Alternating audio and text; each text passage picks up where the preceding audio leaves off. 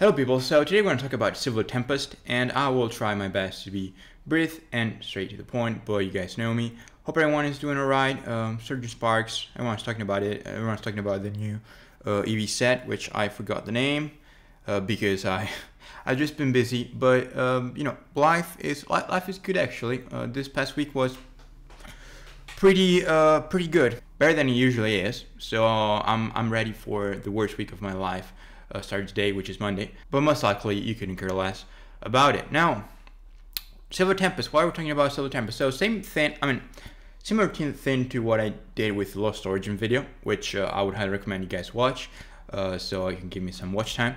And uh, we have European data, which you'll see popping up uh, right now. And as you can see, that is the number of boxes. Again, number of booster boxes over time, pretty much is daily data. And uh, you know, we've had a restock in uh, March, uh, April, April, I think it was, April, March 2024. So this year, that's why the increased number of boxes. But now we seem to have peaked at 450, 480 maybe, a bit less than 500. And now we're down to a bit over 300 boxes. Now, if you look at price, the way I'm looking at it, you can see how it is pretty much a straight line. Now, the slope of such line, it's not what perhaps you want to see, right? You want to see if you if you want to make big gains, you want to see something almost going vertical. Now, when something that like that happens, many times you could say it's a bubble. Here we have steady growth. If you're into steady growth, you should be amused.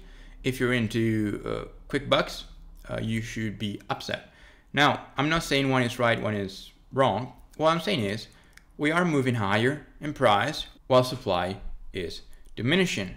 Now, we do not have a, what I refer to as a, some sort of divergence, just like the Lost Origin case, where briefly, once again, I recommend you guys watch it as uh, Lost Origin price has been moving, because uh, I'm sure all the European folks watch my video. Um, I'm confident, um, definitely happened. Um, and um, in that case, we've had supply going down while price remain stable. While price remains stable.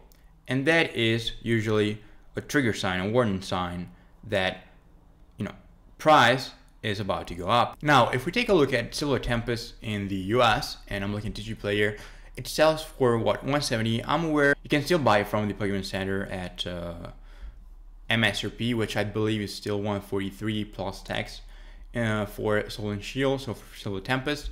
If you look at sales volume in the US, which is something I wish we had in the U, but luckily we do have my my bot, my data. Welcome, you're welcome. You know, you're welcome. Uh, but seriously though, uh, it, it, it is selling. Uh, we we're not seeing a steady increase. However, what could happen is, uh, you know, with and Shield boxes moving higher now, why? Well, they're starting to age, and most importantly, which is something I, I have always preached on my channel, when everyone is talking about something, don't go into that. Look for what people stop talking about, Sword and Shield. Now, back to the U, there's still abundance and when it comes to cases, as you can see here, they are listed, what, 27, 28? And uh, however, price has gone from 800 to now above 900, which means people are not in a rush to sell and people know what they have in hands. Now I do have a, a case of uh, ST which I bought for uh, 670 shipped from TCG Market IT and I'm not planning to sell it anytime soon. Now I said I was going to be brief. That's about it. I just want to report the data and uh, you can find this data available via the bot on the Discord which is linked down below. Only thing is just read the rules uh, in the Discord about the bot and you'll be fine. Thank you for watching and I'll see you in the next one.